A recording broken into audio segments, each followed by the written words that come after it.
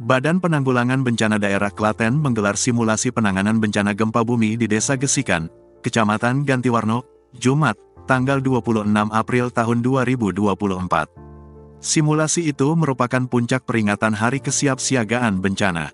Simulasi penanganan bencana gempa bumi melibatkan personel BPBD, pelajar, masyarakat sekitar, dan relawan dari berbagai organisasi.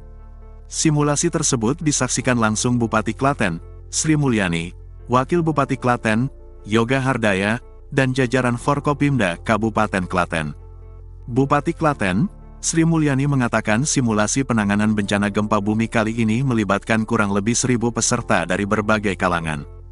Dipilihnya Desa Gesikan sebagai lokasi simulasi sekaligus mengingatkan kembali bencana gempa bumi di Klaten pada 18 tahun yang lalu. Mbak, nah kalau nama jenengan Mbak? Mbak Devi.